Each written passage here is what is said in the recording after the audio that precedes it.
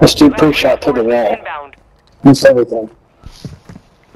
Yeah, eight, eight seconds. Come back. Well done. Target down. Enemy destroyed. Use your attack map to hunt down the rest of them.